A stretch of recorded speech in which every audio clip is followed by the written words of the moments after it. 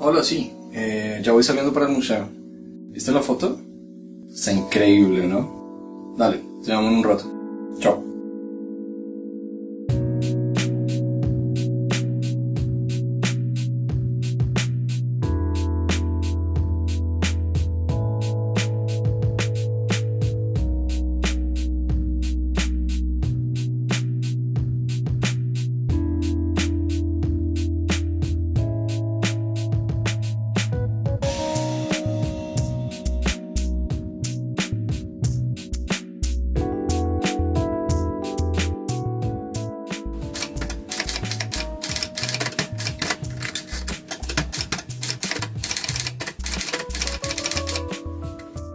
Hola, mi nombre es Jairo Hernández, soy historiador, me encantan los temas de arte, de cultura y de ciudad, y soy becario del programa distrital de estímulos. Esta es la imagen de la que estaba hablando, me encanta porque tiene mucha información y voy de camino al Museo de Bogotá a buscarla.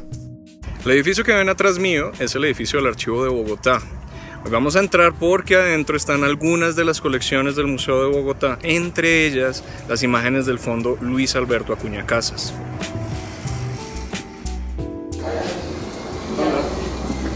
¿Cómo estás? Buenas Te va, tardes. buenas tardes. Sí. Mucho gusto, Ángela. Hola, eh, mi nombre es Ángela Erazo, yo soy restauradora y conservadora de bienes muebles. Quisiera ver esta imagen. ¿Esta fue la que me mandaste? Sí, sí, sí. Me gustaría verla en físico. Pues, El área de gestión de colecciones es fundamental para el buen funcionamiento de un museo. Y una de las ventajas que tenemos los becarios es que podemos ingresar al depósito. Sin embargo, muchas de las imágenes ya están digitalizadas para investigadores.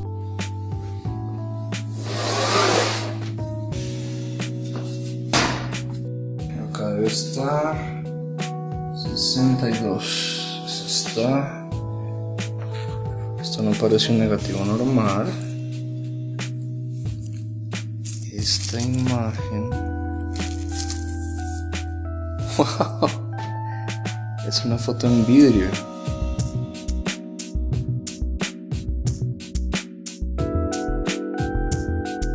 El fondo tiene negativos en vidrio, negativos flexibles y positivos en papel, con mucha información para ser estudiada, pero que también requiere mucho cuidado. La imagen fotográfica, a pesar de ser tan poderosa, normalmente viene en unos soportes muy frágiles. La revisión de las imágenes del fondo me ha generado nuevas inquietudes. La primera es cómo se toma una fotografía en vidrio. La segunda es quién fue Luis Alberto Acuña Casas. Y la tercera, qué historias están contando esas imágenes del fondo. Para ayudarnos a resolver la primera, vamos a encontrarnos con Fernando Cruz, un fotógrafo colombiano muy reconocido y que ha practicado la fotografía en vidrio, particularmente un proceso que se conoce como el colodión húmedo.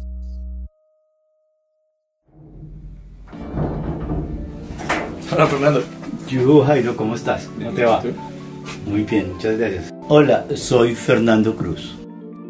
Soy artista visual y parte de mi trabajo, de lo que más me gusta es caminar por las montañas y trabajar con el medio ambiente y trabajar también aquí con los juegos antiguos de fotografía en el taller Arte 2 Gráfico.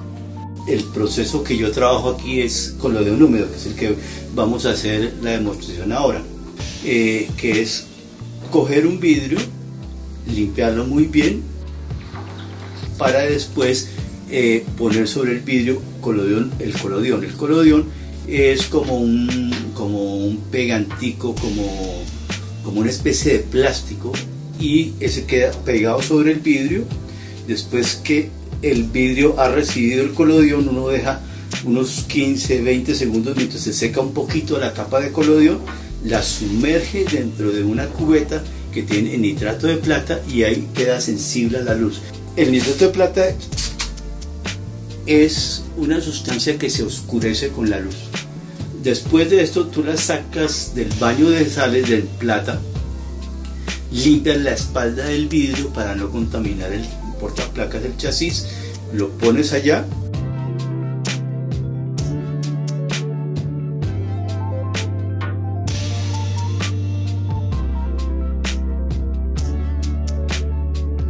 cuando va a tomar la foto, entonces tiene este lado, lado de exposición, uno lo levanta y toma la fotografía. Usualmente se, usan este tipo de cámaras. Es una cámara de 4 por 5 pulgadas o esta cámara que tenemos aquí atrás que es una cámara de 8 por 10 pulgadas. Se dispara con la cámara, se levanta esta y tomas una foto, usualmente pueden ser un segundo, dos segundos, cinco segundos, y después entras al laboratorio y revelas el colodión. Pues este es el lado del laboratorio, tú levantas esto, sacas el vidrio y lo tienes en la mano y pones el revelador. Hay que poner la cantidad exacta de revelador para cubrir el vidrio, que no se riegue por los lados y que cubra el vidrio y se revele bien. Revelar son de 8 a 15 segundos aproximadamente, depende si es un negativo o es un positivo. Entonces después tú lo revelas y ya queda la imagen, después del revelado, detienes el proceso del revelado con solamente agua, eh, ese proceso de, de atención del revelado son 30 segundos aproximadamente. Y después lo pones en el fijador. En el fijador eh, es un proceso de 1 a 4 minutos. Usualmente son fijadores muy suaves y muy sencillos para que se mantenga toda la, cantidad de, grises y, altas luces en el negativo. Entonces, después de, 3 o 4 minutos de fijado, tú lo lavas, lo lavas 5, 6, 7, 8 veces, lo pasas por agua y después lo dejas secar. Cuando se va a usar para hacer copias en papel por contacto o por ampliación, uno deja el negativo tal como está, uno no le hace nada más. Una vez después de que se ha decidido que ya no vas a hacer más copias, que ya no lo vas a usar más, los fotógrafos antes le ponían un barniz de amar, lo, lo sellaban con un barniz y queda ya sellado para, para guardarlo. Para, ya no se manipulaba. Y ya de, en adelante digamos que no se manipulaba más y quedaba sellado y protegido. Día largo pero muy productivo. Ahora creo que podemos empezar a pensar en la siguiente pregunta. ¿Quién fue Luis Alberto Acuña Casas?